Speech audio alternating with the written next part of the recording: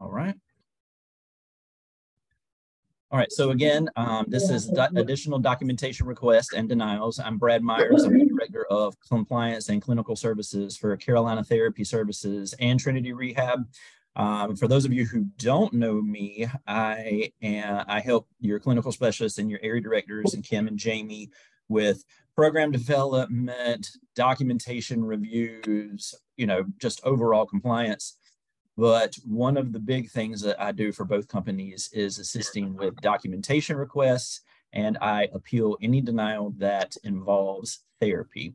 So we have some facilities that have been with me for almost 20 years. I have some facilities that haven't been with me for all that long. So if you have been with me for a long time, hi, it's good to see you guys. If you're new, welcome. It's nice to meet you. Um, hopefully this is not the first time you guys um, are hearing this information or are seeing these forms that I'm going to talk about, but um, it's very important information. So please make sure if you have questions, if you don't understand what I'm talking about, if you don't do it on this call, please reach out to me afterwards or when I'm in the facilities and let's talk about it. All right. So for the agenda, we're going to talk about current ADRs, why you're getting them, um, because that is becoming more, more of an issue in several facilities and clinics. When you get an ADR, what you need to do about it.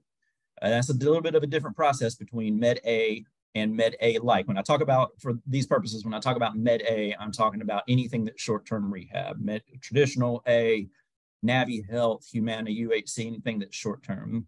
And then Med B is your traditional B, your UHCB, um, Optum B, anything like that, even straight Medicaid, stuff like that. Unfortunately, if you have denials, what do we do when that happens? Um, common reasons that we're getting denials right now, and then specifically current PDPM, PDPM issues, because that is becoming more and more of an issue right now. So what is the documentation request? First of all, um, and that should be the first bullet point, an ADR is not a denial. It's not unusual, even in this day and time, for, to, for me to hear from a facility that they have gotten a denial or they've gotten all of these denials. And when they send it to me, it's not a denial. It's just the payer that is looking for additional documentation in order to substantiate the services that we have provided. Um, please uh, make sure you mute your line, please, if you're just getting on. Obviously, first things first, we have to respond to it in some way in order to just justify payment. We cannot just ignore those. Um, the ADR that you get can either be a prepayment review. So you submitted the claim and before they pay you, they are going to want the documentation to justify whatever you've sent, or it could be a post-payment review, meaning they've already paid you and they want the documentation to prove it retroactively. We got we usually have 30 45 days to respond to the ADRs. Um, and that's all over the place. I've seen some ADRs that allow more than 45 days. And unfortunately, I have seen some, as some of you medical records people and business office managers and facility people know, some of these they're sending to us are pretty much a quick turnaround time. They're not even giving us 30 days. Um, and uh, again, if there's no response to the claim, it's fully denied. You'll usually get a letter in the mail alerting of the ADR, um, but sometimes your business office manager can see that the claim has been triggered for a review in FISS. So you may even know that the documentation request is coming before you even get anything in the mail. So it's very important that the facility staff um, monitor the mail often to make sure ADR responses are begun timely. So why are you getting ADRs right now? Um, your business your billing practices are out of the ordinary. Notice i'm not saying in right there that you're doing anything wrong. It's just that you're out of the ordinary. All facilities are not created equal. All clinics are not created equal. You may be billing more uh, the certain cpt code or a certain HIPPS code than what your payer would expect. There's nothing wrong with it if that is the makeup of your patient population and you have supporting documentation uh, versus if you have suspicious billing practices, if you know you're applying KX to all claims, for example, if you're pl- applying 59 to all payers, that doesn't seem right. And if we do that, there that, that's opening up, us up for review. any new provider is probably going to be at risk for a, a, certain kind of, of ADR called a TPE audit. And I do know that we have facilities that are under that right now. And if you are, you know the excitement and the fun that that entails. Um, CERT, comprehensive error rate testing, is a random review that Medicare and Palmetto GBA and your whatever MAC you have have had going on for quite a while. So we'll talk about that in more specific detail in a minute. Seems like UHC, Aetna, Humana, all these replacement claims, it seems like they review sometimes every single one of their patients that you have come through, that they have come through your building. And uh, I don't, sometimes I don't think that that's an exaggeration. So expect those if you're taking those uh, Med A replacements. You could have a legal request from an attorney. Most of the time, knock on wood, that is not the result of something that happened in your facility or something that therapy or nursing did. It's something that happened before, you know, the, the car accident or the slip and fall at Walmart that warranted the qualifying hospital stay that put them in your facility, but we still have to submit documentation in response to those. The beneficiary or the POA could submit a request um, for documentation or the ADR could just be completely random. You know, the payer is casting a net and they don't have anything better to do. So they're they've decided that they're just going to pick on your facility and see if they can find anything. But if they do find anything with ADR, you can expect more documentation requests to come. So urgent. This is one of the big changes that I want to talk about on this PowerPoint. Um, every nursing facility on this call could expect. This is the big reason that I wanted to have this call now. Medicare has um, demanded that all of the MACs in the country, which is Palmetto GBA for most of you, um, we have Noridian for some facilities. We have a scattering of other MACs, but most of you are Palmetto GBA. But every MAC, regardless of who you use, um, CMS has mandated that they all send um, that they all send at least five documentation request to every skilled nursing facility in their jurisdiction. And what they're looking for is supporting PDPM groupers. Now, this is this link here is the McKnight's article that goes all in detail about it. I uh, don't know that you can click on this, but again, I'm going to send out a copy of this PowerPoint. So um, you can also Google this, or if you um, are a McKnight's subscriber, you may have already read this or Google this or however you need to find this. Um, every skilled nursing facility needs to be aware of this because these requests could have started on June 5th. And for you guys that are Johnny on the spot, you know that it's June 8th. So these may be in your mailbox right now. So what they're looking for, again, every skilled nurse facility, and this is copy pasted from the um, McKnight's article. Every skilled nursing facility in the US will be subject to a five claim audit starting the week of June 5th, AKA now, as regulators try to better assess and root out improper payments. Now, whenever Medicare talks about an improper payment, we always think about um, they're overpaying us, but it is possible that they could have underpaid us also. Um, I don't know that I've ever heard of that, but it is a possibility. Um, I'm glad that all of you guys are muted right now, so I can't hear the laughter um, about Medicare saying that they have underpaid us and they send us more money, but it is, in theory, a unicorn possibility. So the MACs in every region are required to pull five Med A claims from every facility they cover and review them for potential errors. The results will lead to basic education. All right. It's in red, adjustment to prepayment claims, i.e., they're going to deny the claim before it's even paid, and more in depth one on one education for providers who have errors on more than one fifth. So, of these five claims, you can fail one of them. If you fail two, that's going to warrant further investigation.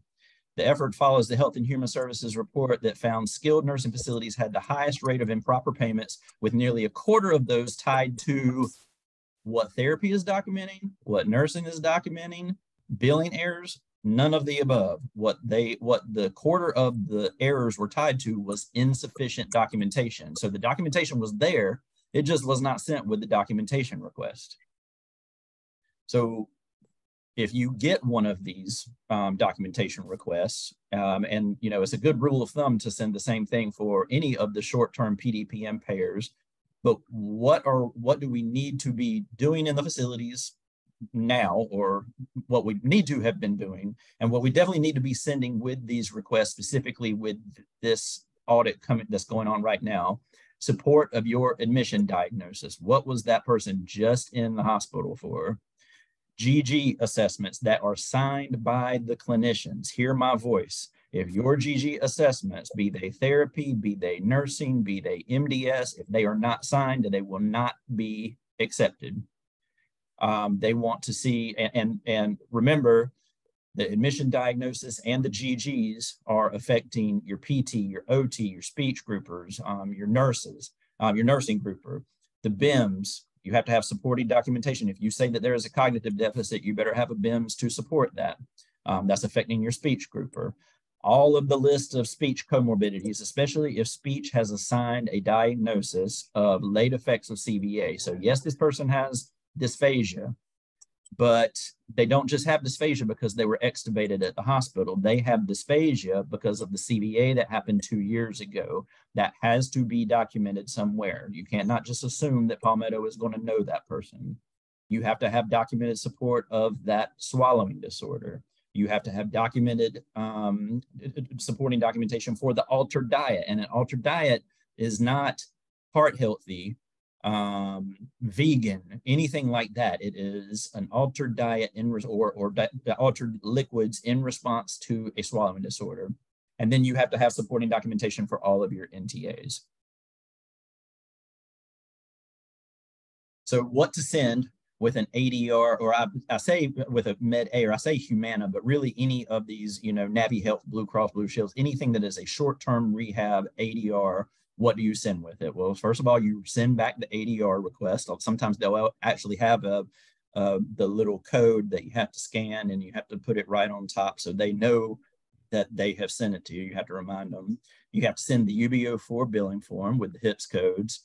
You have to send the hospital information, at least the discharge summary that says what the diagnosis was. It has some information about orders, blah, blah, blah, blah, blah. But if you have histories and physicals. And if you have consults from neurology, ortho, things like that, anything that happened at the hospital is going to support this claim, you need to send it.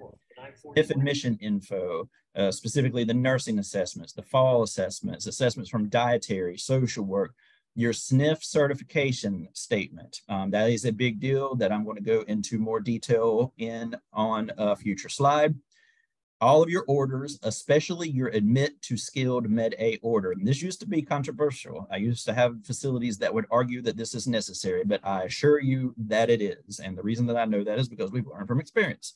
You know, if we did not have a uh, Med A admit to skilled order that was, you know, met the requirements that Medicare wanted, they would, you know, disallow it. So make sure you have that your all of your therapy um, documentation, including the service logs. We're going to talk about that in more uh, detailed, uh, more detail in a few minutes.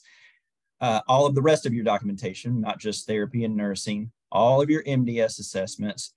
For, for right now, your ADL flow sheets, if this is a um, like a CMA, a, a CMI review, uh, your signature log, if you have physicians that are still doing manual signatures on anything and their signatures are illegible, and they probably are, you have to have a physician signature log so CMS knows that that illegible signature belongs to Dr. Smith.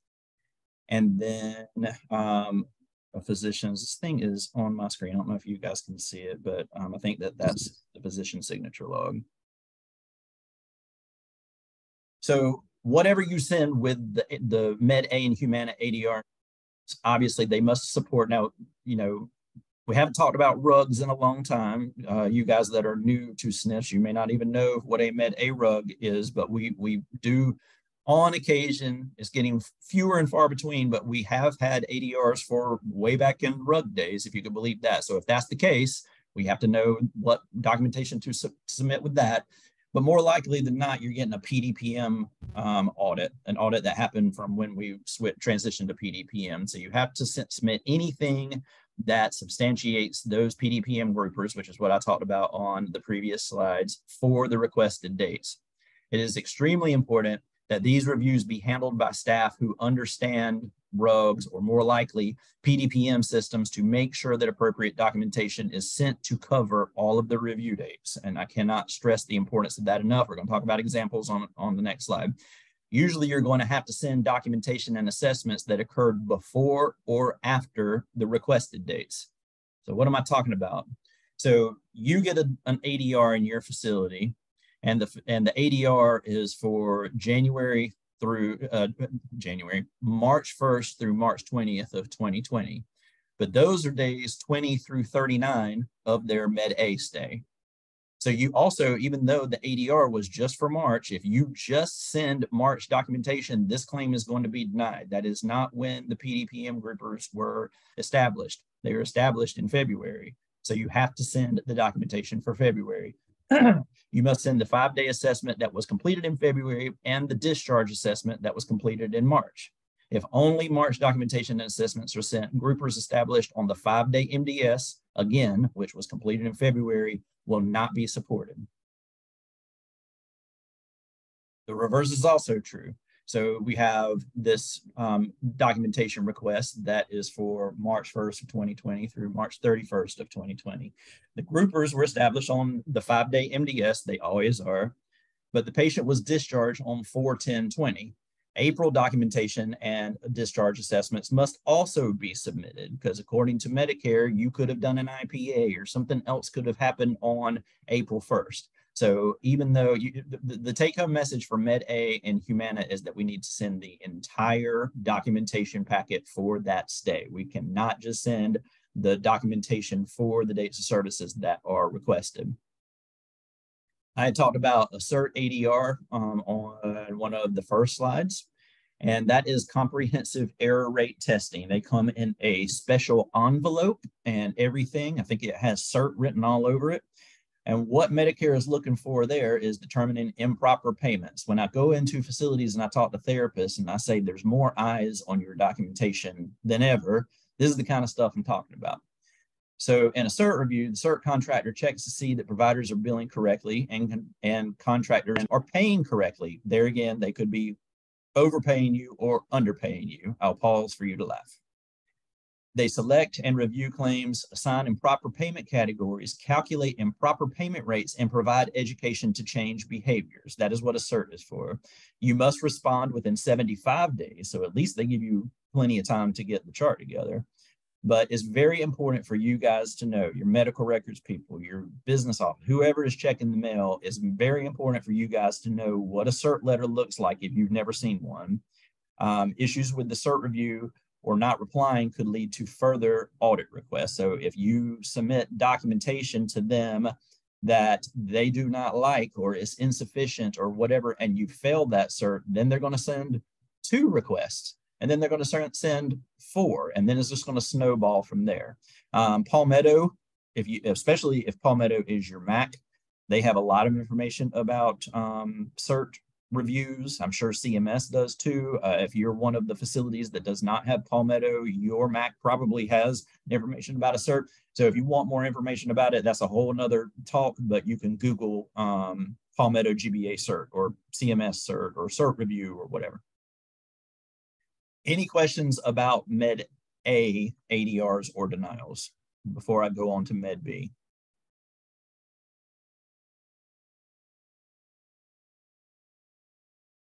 Med B happens a little bit differently. So I hesitate to even say this um, because I don't want to jinx us all, but it's very unusual to get a Med B ADR. Most of the documentation requests that we get are for Med A, Navi Health, UHC, hum, you know, short-term rehab sorts of things. But we have had some facilities that get Med B ADR, so it's not unheard of.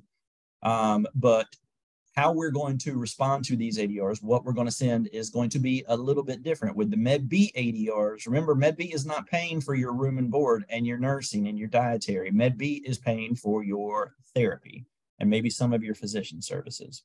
So that is what we're trying to justify. So it's a lot less documentation than the Med A short-term rehab crowd. So we're going to send again a copy of the ADR to remind them that they're the ones that sent it to us. You're going to submit a copy of the UB-04, the therapy eval and treatment orders, um, very important, or your standing orders. If you're a skilled nursing facility and you have standing orders that have PT, OT, speech, eval, um, and it's signed by the doctor of that that that resident, that's fine too. That that'll work. But I I love to have a, a more recent therapy eval order if it's there. The therapy plan of care signed and dated by the physician or the non-physician practitioner within 30 days. Non-physician practitioners can sign Med B therapy documentation. We'll talk about that in more detail in a few minutes. Therapy, uh, if the patient's on caseload long enough that they need an updated therapy plan of care or a recert, it also has to be signed by the physician or the NPP within 30 days. The daily notes, the progress notes, the service logs and record of treatment. And if for whatever reason there's anything in that documentation uh, of signature that cannot be read, if it's illegible, we would also have to submit a, a signature log. Anything that therapy does, uh, we do electronic signatures on all of our stuff, including usually the physician's signature. So hopefully um, that's not a big deal in most of the locations. But if you do go through that packet, and there is an illegible signature, we would have to submit a signature log. Screen is not advancing. What do we not send? Now, this is where they differ from Med A a little bit. We don't send hospital information with a Med B ADR. Most of the time, there's not any. This is a long term resident that was referred to us by nursing or restorative or the case mix team that the person hadn't been in the hospital. So if that's the case, obviously there's no hospital information to send. We don't send interdisciplinary documentation like nursing documentation or dietary. We do not send the MDS assessments. Medicare does not care about that for Med B. We do not send ADL flow sheets. We do not send labs or medication. Uh, GG assessments if we're doing those with Med B. None of that stuff um, unless they directly support the therapy services. But we are instructing our therapists and assistants that the, the therapy documentation that they do needs to stand alone. So hopefully I'm not having to go to nursing documentation to support what therapy is doing. As a matter of fact, it's much more likely that nursing or dietary may inadvertently um, contradict the, the, the overall picture I'm, I'm trying to paint of this picture with therapy documentation. So it's not helpful to send any of that information. CMS wants to see that the therapy services billed are necessary and skilled. We do a lot of work with our therapy teams about documenting that way. If the services are repetitive or could be safely administered by unlicensed staff, um, by unlicensed, I mean not, not a therapy license. So if they could be done by CNAs or nurses, um, Medicare is going to deny that if it's provided by a therapist. Sending documentation for service dates prior to or after the requested dates in the case of Med B could cause CMS to question the services and deny them. So that's a little bit different than what I had said, remember, about the Med A stuff. Sending interdisciplinary documentation for the MDS and stuff that do not support therapy could also lead to a denial. So you see, um, with Med B, we are trying to support the therapy claim. We are not trying to support nursing HIPPS or NTAs or anything like that. So we're only going to submit the documentation that they ask for for a Med B or a B replacement. So if you're a medical records person or whoever is responsible for collecting all this sort of stuff and you're frantically writing all this down and trying to remember what therapy documentation you're supposed to be requesting or what you're trying to be pulling out of your, your Net Health system. I'm about to put your mind at ease. We have a very good system of keeping ADRs from turning into denials. Um, I, I think that the best offense is a good defense. Um, and I would like to make sure that our ADR system is sound. So I don't want to lose sight of that because everybody's looking for denials. We're going to keep an eye out for possible issues that will lead to a denial and solve them at the ADR level. So for example, if we do see that something that physician signature or whoever signature is illegible, we need to submit that signature log with the ADR. We do not need to wait for, for the entire claim to be denied because of an illegible signature. Um, the delay, if we see that the therapy plans of care or the recert are not signed and dated by the physician within 30 days, which is a Medicare requirement, we need to know that. and we need to go ahead and submit a delayed certification with the ADR instead of waiting for that claim to be denied um, because of an old cert. So when you do get an ADR, whoever in your facility or, or in your clinic um, is checking the mail and getting them, or you're checking FISS and you see them, just make a copy of it and scan it to me, um, depending on which facility, which company you're at. Um, you would either email it to me at the Carolina Therapy email or at the Trinity Rehab and I will forward all of the therapy documentation back that you need. You do not have to, nobody on this call except for me, including therapy managers, nobody needs to be pulling therapy documentation except for me. Um, do not mail the ADRs to me, just slap them on your scanner and email it to me.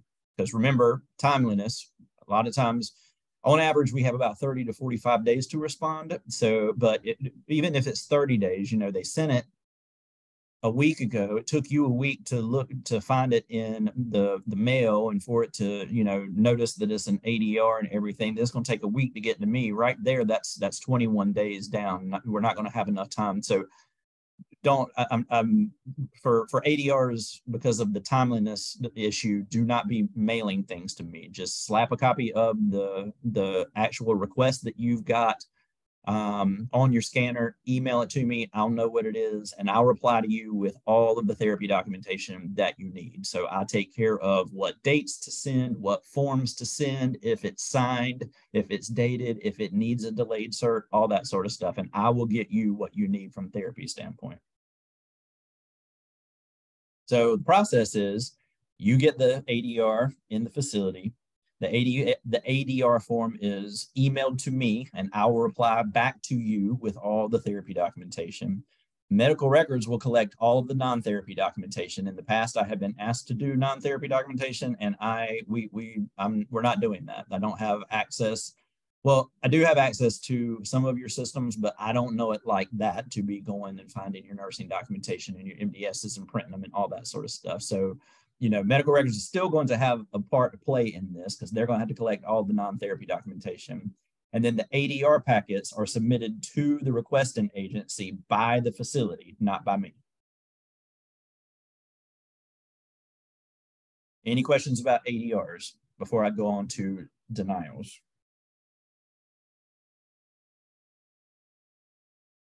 So for ADRs, all you got to do is let me know that you have an ADR and I'll send you the documentation. Hopefully we send the payer or the requesting agency the documentation. They love what they see and you never hear from them again. But if that's not the case and because of an ADR issue or whatever, this claim results in a denial, that's a little bit more involved of a process. So um, and it, just like with um, ADRs, it's a little bit of a different situation with denials between payers. So I make it easy on you guys. And again, I'm going to send this out in attachments to everybody who um, accepted the Zoom invite. So you'll be getting copies of, of these, but I have a, this is the CTS version, but the Trinity version looks exactly the same. This is a denial registration process that if you get a denial, it's step by step what I need and what you need to send. And then I have a registration form that has a checklist specifically of things. This is the Med A and the Med A replacement form version. So it has, you know, sort of what I talked about earlier with specific things that you need to send. I need all of this information. If it is um, applicable I need it filled in. Like if this is a Medicare claim and you don't know what the document control number is, ha- somebody has to find it because they will not accept the um, request if all of this information is not filled in. Sometimes I'll get this form and just the beneficiary is filled in. That does not help me, and I will send it right back to you. Um, there, all of this information up here is um, there for a reason, so I have to know this in order to appeal. This is the Med A version. This is the Med B version. And again, notice this, there's a lot less information that I need for Med B. Med B claims typically, uh, if, if this is a, not a denial, typically all I need is this form. So I know exactly what was denied, why it was denied. Um, I need a copy of the billing form. There's probably, I'll probably need a corrected billing form, which I think I talk about on a future slide. I need a copy of those orders.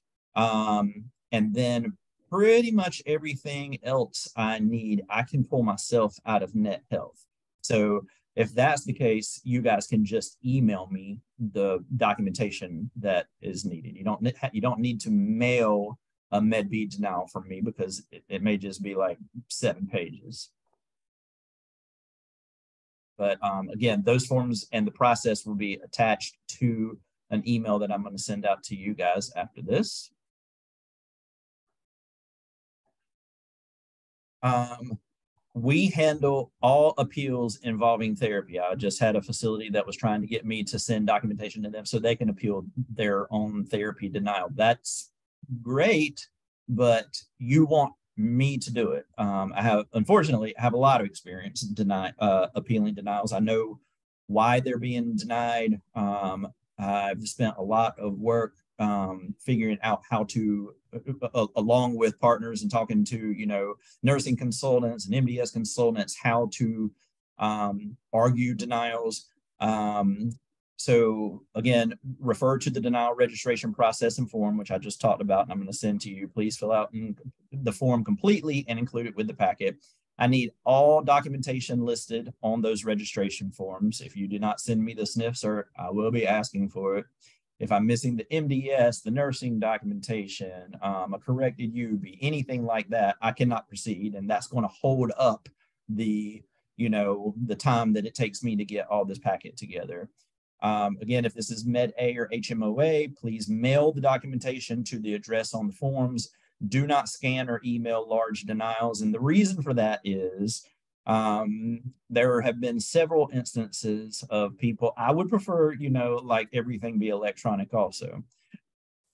But there have been several instances of people that have emailed me 600 plus page documentation packets that were caught up in your firewall, my firewall. It, for whatever reason, the claim was the, the file was too big to get to me and it's not reliable. So for right now, until and, and we are CTS and Trinity are in the process of figuring out how to do this system better, right? Like how to get large documentation packets to me so I can uh so I can do the appeal. But for now, for large documentation like Med A, HMOA, make sure that you are mailing them to me. And again, the ad- addresses on all the forms in the process and all that sort of stuff please, in the name of God, do not send double sided and especially stapled copies. That's going to slow me down. Um, the payers will not accept um, appeals in that format.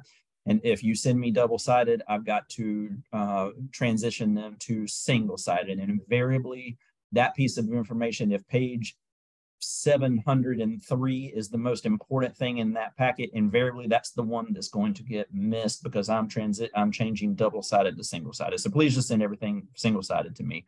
And please do not staple things together because that that is a nightmare unstapling things. You also don't have to number pages. Um, I've seen where you know the facility has had somebody, I'm assuming the medical records person, go through and write like page one, two, three, four, and every single page has like a, a handwritten number on the bottom of it.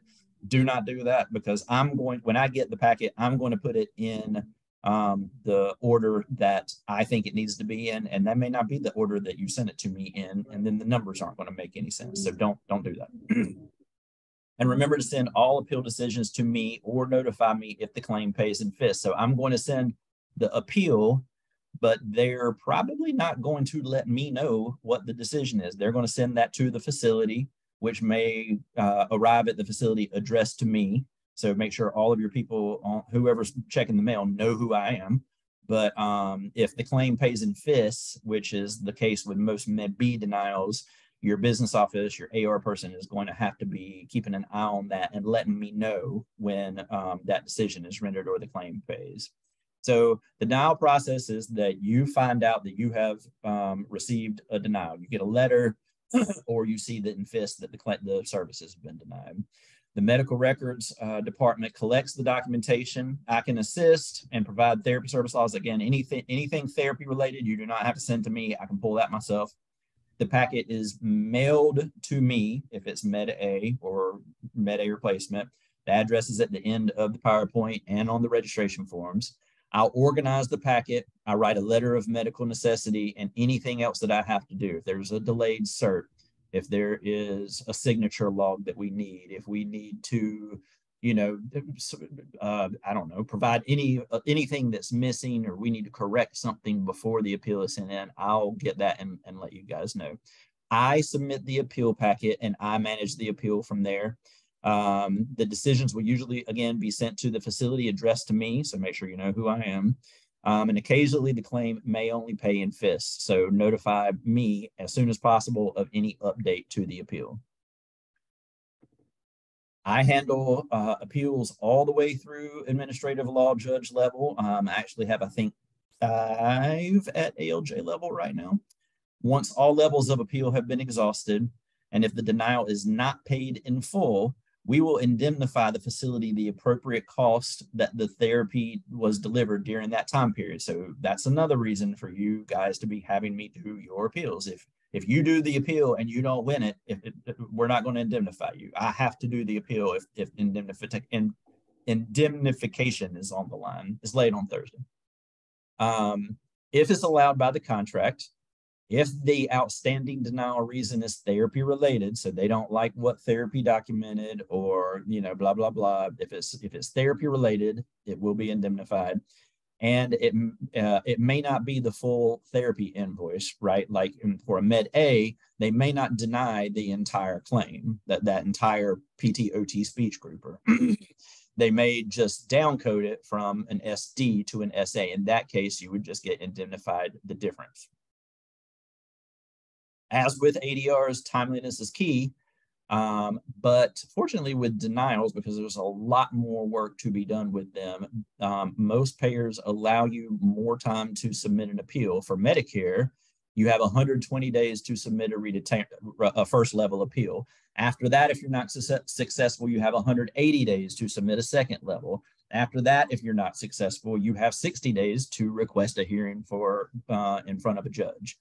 Um, but I don't mean to put for you guys to see this slide and say that you have 120 days to get something to me because it may take me a minute to get a packet together and make corrections and get your physician to sign whatever and everything. So please do not wait until the last minute. It's very time consuming for me to review documentation and, and write a letter of medical necessity. So as soon as you know that you have a denied claim and as soon as you can get everything together to me, please get it to me as soon as possible.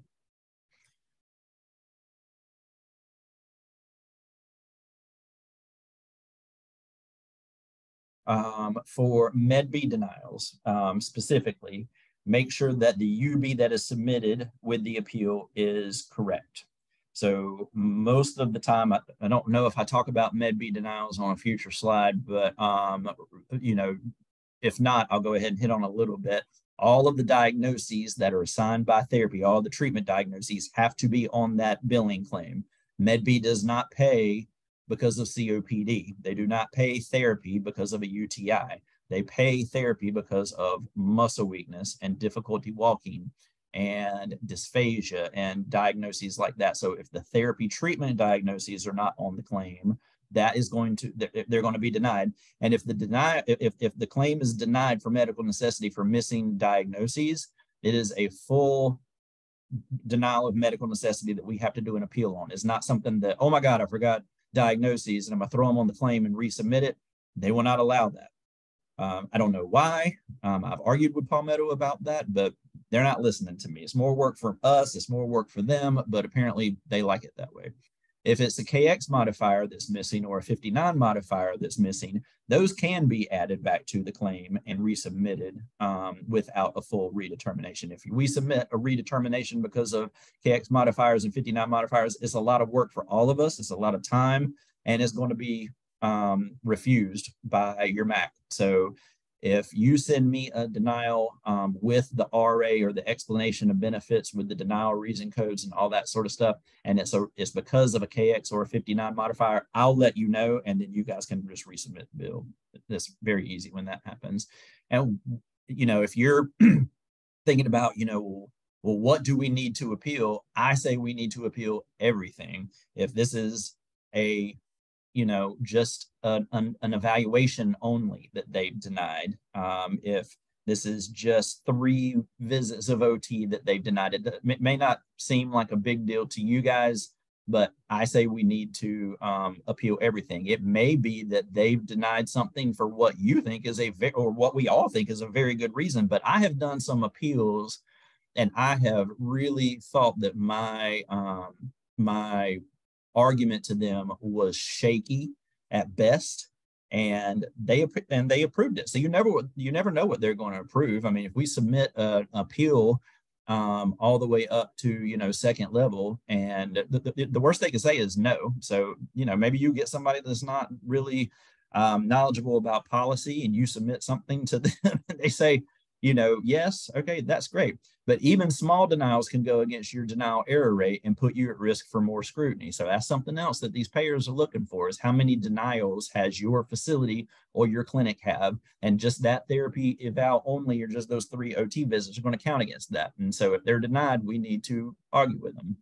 So why are we getting uh, commonly right now? Why are we getting denials? Uh, by far and away, the biggest reason that I, the most appeals that I do is because of what I just talked about with the missing therapy diagnoses. So please, if you don't get anything else from this this talk, please stop what you're doing and make sure that you have a process of checking the, the, uh, uh between billing and therapy of confirming Med B treatment diagnoses. Every single treatment diagnoses from all three of those disciplines have to go on that claim. If you put the PT and OT diagnoses up there and not the speech, the speech services service lines are going to be denied.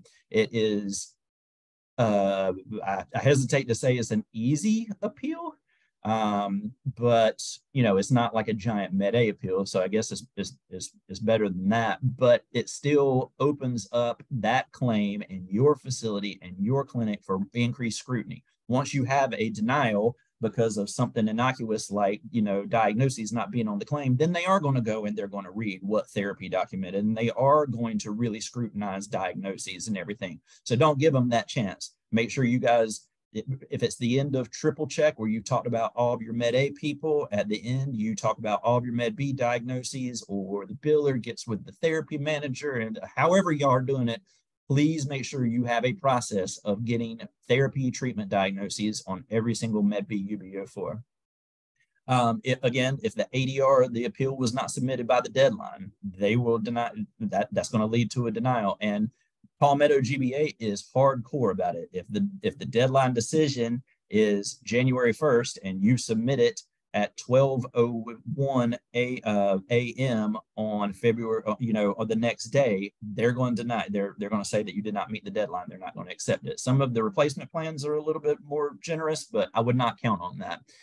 Again, just like what we talked about with the current uh, Med A review, all documentation per review date is not submitted. If, if, if we don't submit all documentation, you can't assume that they have it. We have to submit everything. Therapy service logs not submitted. That's going to, uh, we can take care of that right now. If again, if you submit all of your ADRs to me and I send you the therapy documentation that you need. Uh, ADL flow sheets not submitted if this is a RUG or a CMI, CMI denial. And, you know, uh, the ADL flow sheets in Section G are about to go away. So hopefully on future talks, we're not going to talk about that. But for right now, they're important.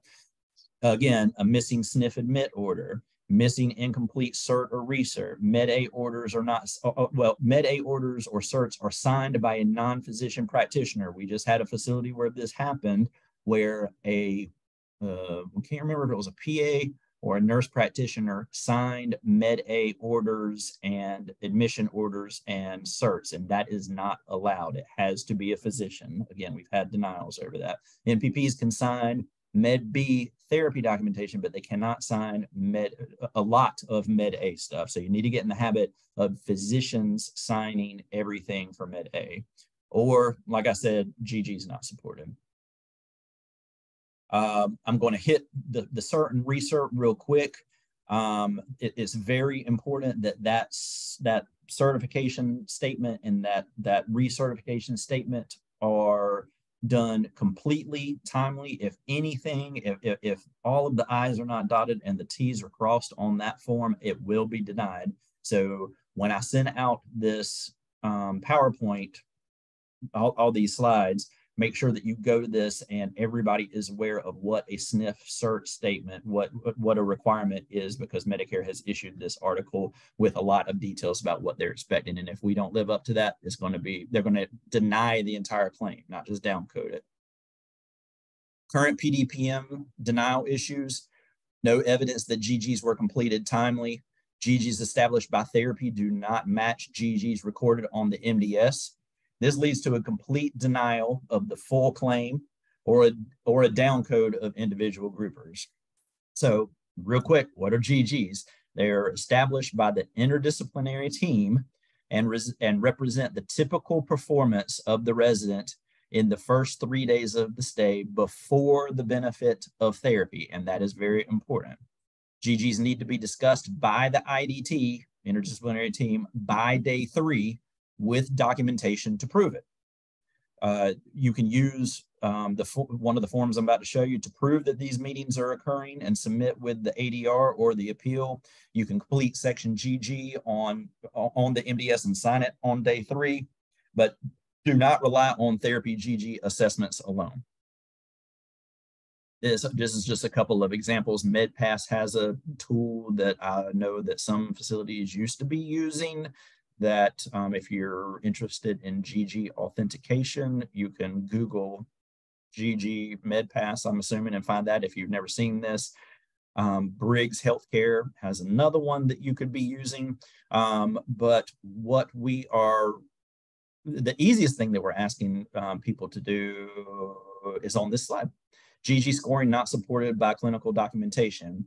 So what we're asking um, our therapy managers and the MDS coordinators, or what we're suggesting you guys do, is when that admission assessment is done and those GGs are established, that you write some kind of statement that says something to this effect. Admission GGs calculated through IDT collaboration based on the resident's typical performance in the first three days of the stay and before the benefit of therapy, and then that's signed by MDS and your therapy manager and your nurses and whoever else is, is signing that MDS. You're going to ensure that therapy and nursing documentation match and support the established groupers, but it's, it's not unusual for the therapy GGs to be different than what actually makes it onto the MDS. This note is going to resolve resolve you from that, and it's going to take care of the previous issue that you don't have any signed GG assessments. If your speech therapy groupers are not supported, we've already talked about CVA late effects or supporting documentation for dysphagia and altered diet, supporting um, documentation for uh, diagnoses and things like that that your speech therapist is, are assigning. If you say, for example, that, um, or if your speech therapist comes in, they say that this is a, a resident with a previous CVA, um, that's going to increase the speech therapy grouper. Active hemiplegia includes in, increases. It, it, can increase the speech grouper. It can increase the nursing grouper. In some cases, it, it can increase the PT OT grouper. So it's very important. So if you have these two bullet points right here in documentation, but somewhere on this claim, you have certainly as a reason for admission, but if you have it even in the comorbidities or the history uh, resolved or without residual deficits diagnosis, that is going to completely wipe out all of the documentation of that CVA and that hemiplegia that you had. So, you know, you again, you have speech therapy saying that they're treating um, dysphagia, late effects of CVA, and PT, OT, and nursing saying that the person has hemiplegia that is requiring our services. And then somebody assigns Z8673, which is personal history without residual deficits, there went your entire claim because of that diagnosis. um, we do a lot of work. I'm getting short on time here, so I'm just going to fly through a couple of these. We um, this is more us um, communicating with speech therapists with diagnoses and making sure the appropriate diagnoses make it onto the claim. Like if we are, if the speech therapist is evaluating for late effects of dysphagia and which would which would improve the speech grouper. But during the evaluation, we find out that there is no diagnosis, there is no late effects of dysphagia. It has to be on the evaluation. We have to leave it up there because that's what we eva- that's what we evaluated for. But speech therapy therapy manager needs to let the MDS coordinator know, or whoever is putting those diagnoses on that MDS for configuring of the groupers, that that is not a diagnosis to be used to configure groupers, if that makes sense. That is an example of all that. So I wanted to leave plenty of time for questions. Um, since y'all sat through 55 minutes of that, I wanted to give y'all a cute cat. Um, I know that I had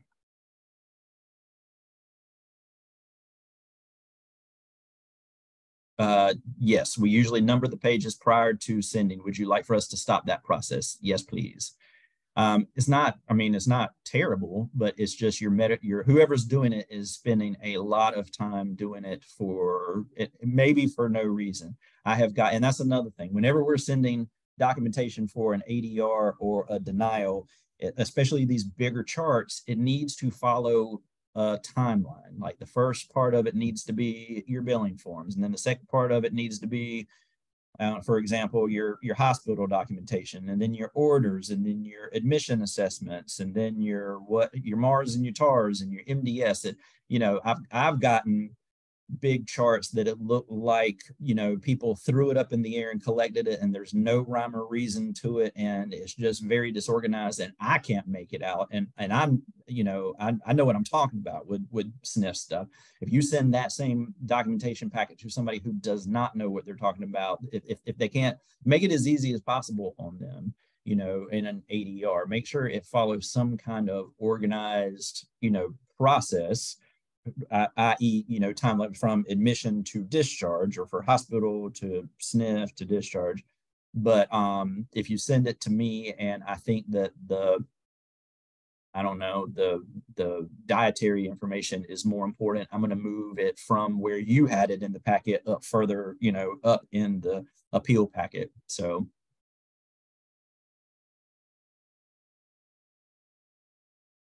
any other questions?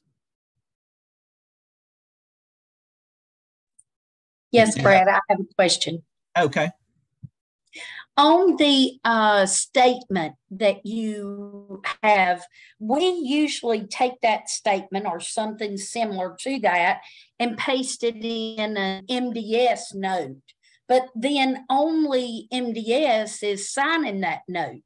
Would it be feasible to take that statement and print labels with that statement on it attach that statement to the GG sheet and have all the disciplinary, the members of the disciplinary team sign it? I think it may be actually okay if it's just MDS. Now I think about it, I mean, they're looking for a signature. If they and if you're if you're you, you have so one of the big complaints that we have with net health if i may get on my soapbox is that we have we can provide y'all a gg report with the the ggs that that pt and ot came up with but it does not have an electronic signature. Um, and we have been asking Net Health for, when I say years, I'm not exaggerating, and so have their other customers, put an electronic signature on that because that would have right there resolved a lot of this. Um, they're working on it. It's supposed to be done, you know, as with probably what your EMRs, what you guys get to, you know, oh, it's going to be in the future. So it, it should be happening anytime now, hopefully. But at the very least, we can have the therapist manually sign that GG report. And then you have your CNAs or your nurses or whoever that are also doing the GGs. And if it's in AHT or PCC or wh- whatever system that you're using, they're also signed. As long as they're all matched, that's probably okay. But what I typically see is that you got a GG assessment done by therapy that's not not signed. Then you have nursing GGs that don't match what therapy did, and they may also not be signed. And then Medicare is saying, well, how did how did that get onto the the MDS? So if you have an MDS statement, even if it's only signed by the MDS coordinator, that hey, this was these these scores were established based on you know blah blah blah that statement, that may suffice. But any anything, and I think that it's going to be because we have tons of different customers up here, tons of different right. EMRs, and I don't know how what what would maybe work for one would not work for the other. But if there is some kind of way to get everybody to sign it, that would be great because they're already all you know all signing the the MDS. But um, Right. it, at the very least, if the if the statement is there and the MDS coordinator is signing it, I'm I'm happy with that. And I just off the top of my head, thinking about that, I think that that would have absolved the denial issues that we have had involving Great. GGs. Thanks, Brad. Mhm.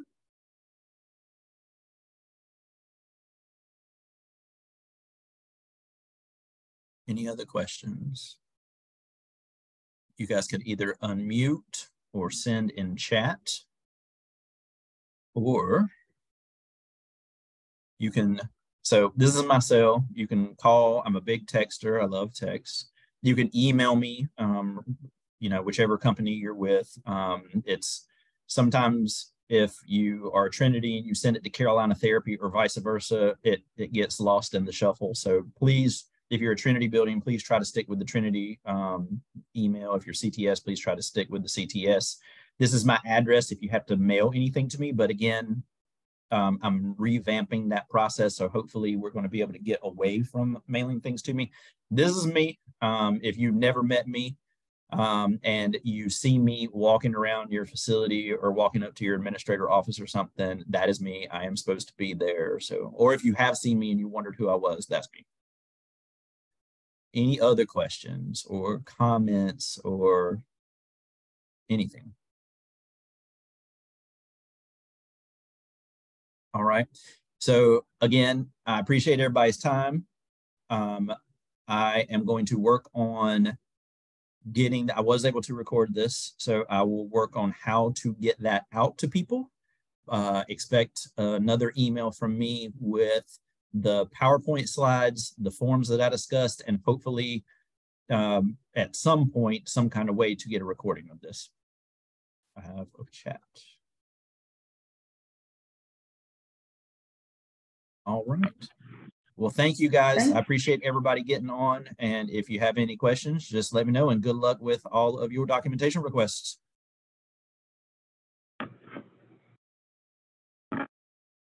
Thank